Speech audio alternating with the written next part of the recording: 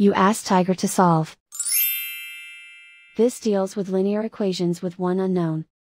The final result is x equals 3. Let's solve it step by step. Swap sides. Isolate the x. Divide both sides by 2. Simplify the fraction. Find the greatest common factor of the numerator and denominator. Factor out and cancel the greatest common factor. And so the final result is x equals 3.